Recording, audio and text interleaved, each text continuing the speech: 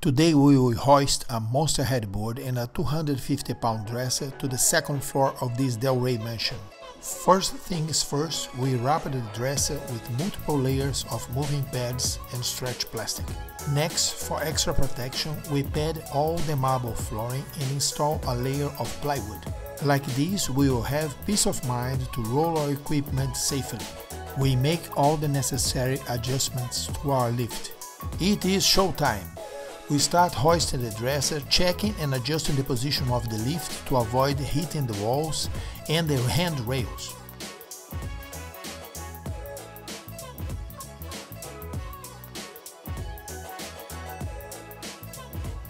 Now that the dresser is up on the second floor, we will sit it on two special carts and roll it to the room.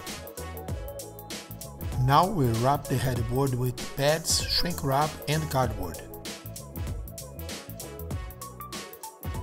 We have to pack the headboard properly to be able to lay down on the lift.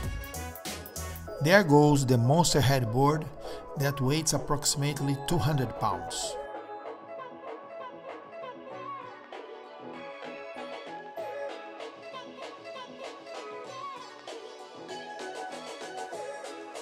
We maneuver the lift to a wider area to be able to unload this huge piece of furniture.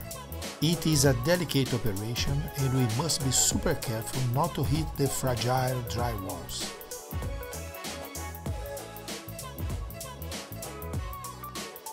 Now it is time to undo our setup and go to our next challenge. God bless America.